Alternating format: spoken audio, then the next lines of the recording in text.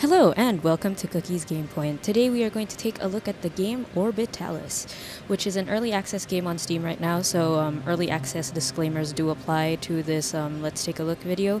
More information on that in the description below. So Orbitalis is a simulation game with puzzle elements and it combines the ideas of chaos and gravity, mixes them together, um, complex having complex behaviors with simple rules. That's what um, Alan Zucconi was trying to aim for while making this game. So this game was actually made by him during the Ludum Dare 28 so that happened sometime in December 2013. The theme for that dare was um, you only get one. So based on this idea, the main objective of the game is to launch a satellite. You only have one shot at launching the satellite, and you have to um, choose its angle, you have to choose its velocity, and you have to choose the timing at which you launch it, and you have to make it orbit for as long as possible based on those considerations.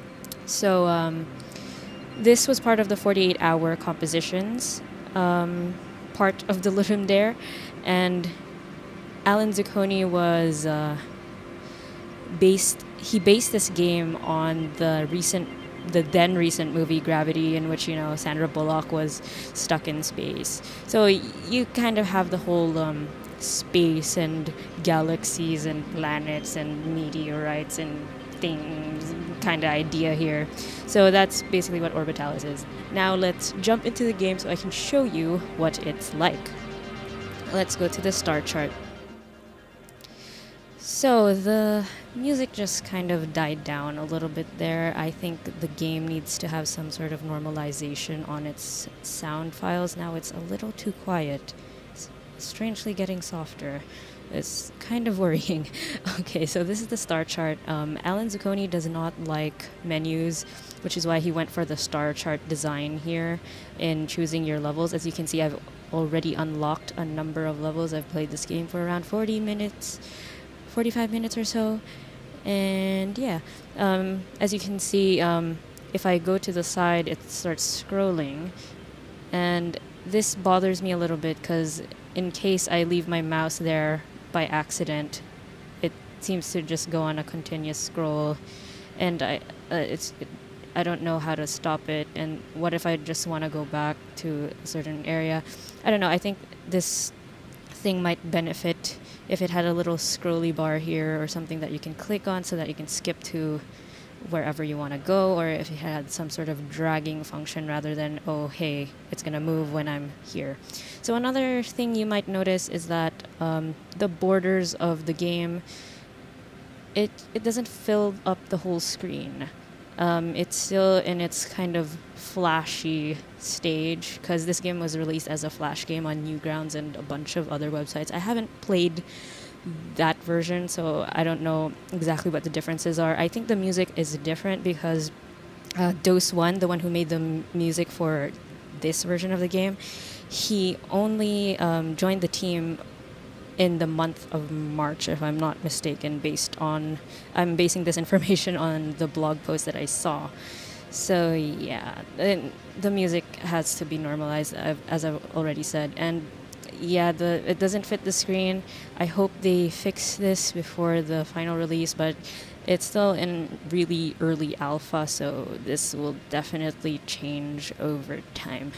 So now let's go into the first level and let me show you what it's like.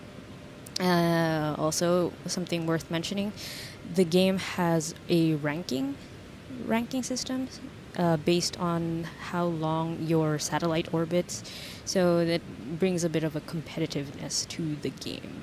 Okay, let's go in. That sound also bothers me in how it sounds like an error sound on Windows, but yeah. So here we are. Uh, this is the game. And as you can see, there's a red dot here.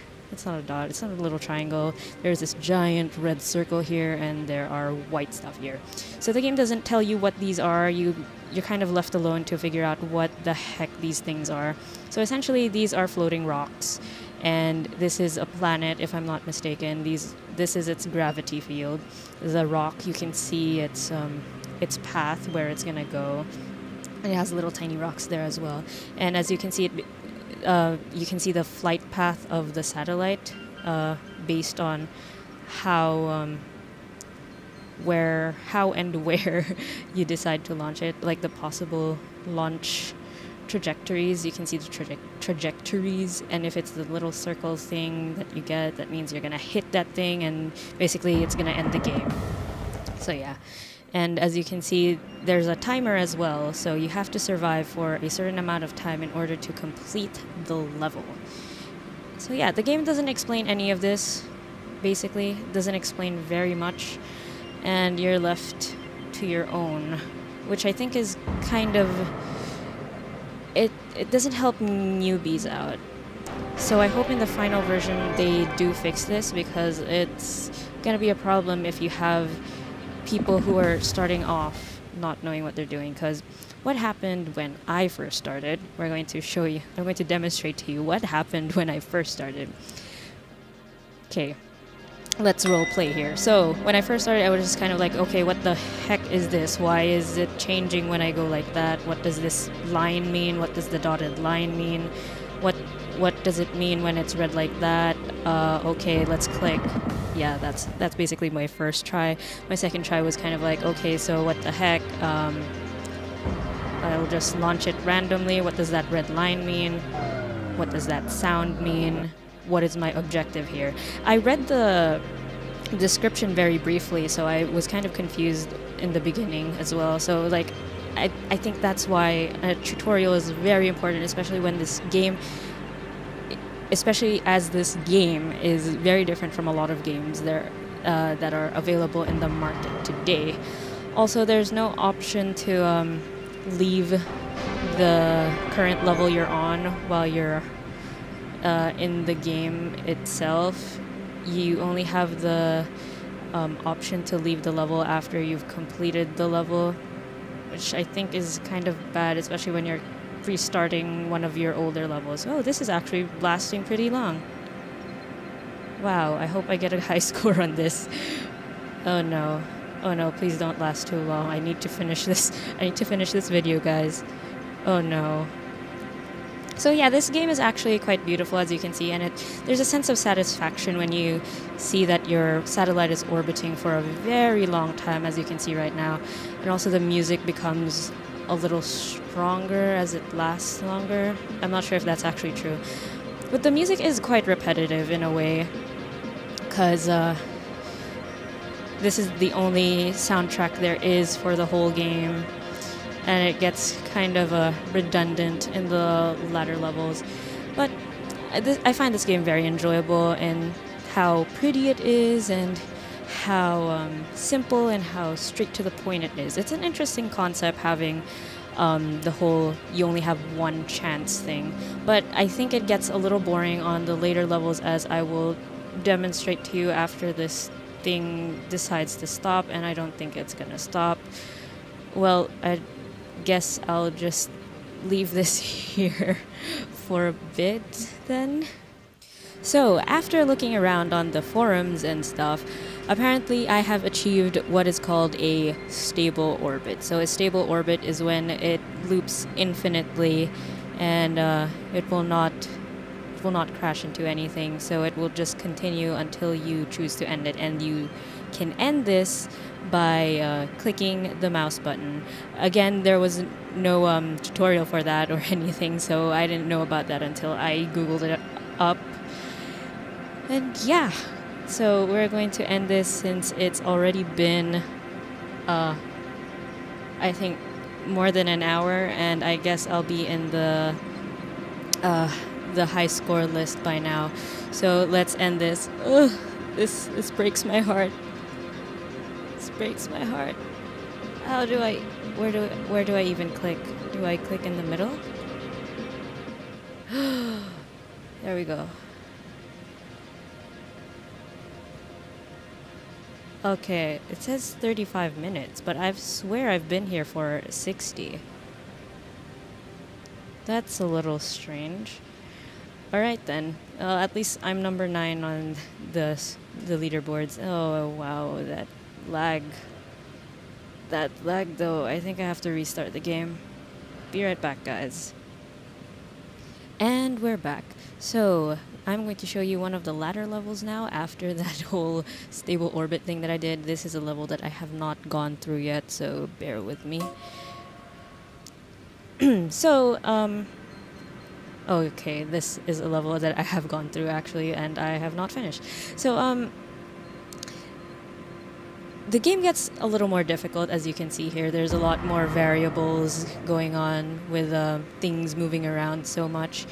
And uh, the sense of satisfaction goes down a lot once you get to uh, these these ladder levels because it essentially feels like a game of luck because you can't tell what exactly you're supposed to be doing and it's always this very difficult game of a trial and error Wow, this is actually working pretty well.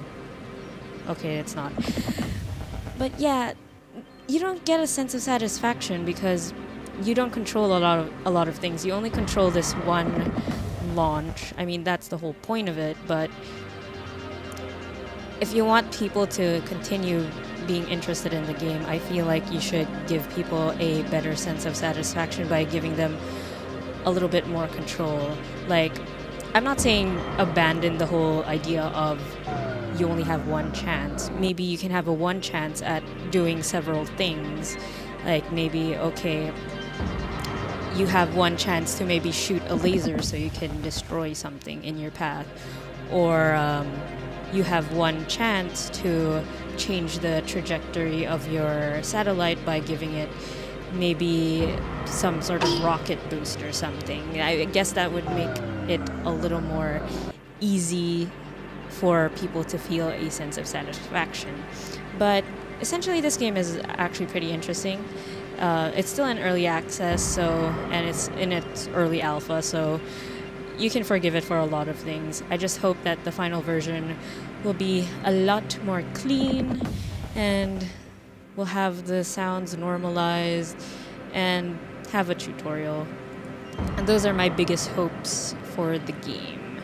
So anyway, if you'd like to help out with the progress of this game before it becomes before it goes into its final stages, then um, you can purchase the game for $6.99 on Steam right now, or your regional equivalent.